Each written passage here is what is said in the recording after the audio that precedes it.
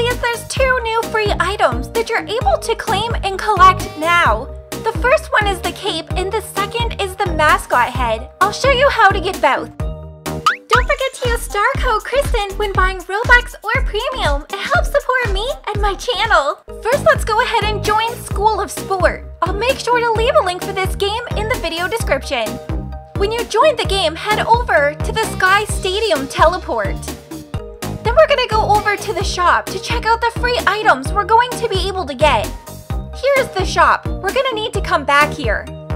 You can see both of the items, so we're gonna head over to the field area. Follow where I go. For the cape, we're gonna need 1500 points, and for the head, we're gonna need to play 20 matches. Let's go ahead and get started. Make sure to stand on top of the glowing circle to hit the soccer ball.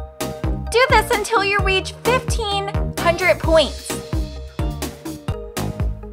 Once you get 1500 points, then it'll tell you you have your free UGC item that you're able to collect. So let's head back over to the shop so that we can claim this free item. Follow where I go. Walk up to the cape and click E to claim. You'll get the badge, and that'll award you the free back accessory. Go ahead and try it on. Here's the free cape that we were able to get. I think this is super cute. Now let's head back over into game. So now we're gonna need to play 20 times. All you need to do is click the ball to start the game and let it bounce out of bounds. Do this 20 times. And when you finish, you'll go ahead and get the item. Here I'm doing the 20th game. I just let it bounce out and I get the notification we can claim our UGC item. These are super easy to get. The cape is 1500 points.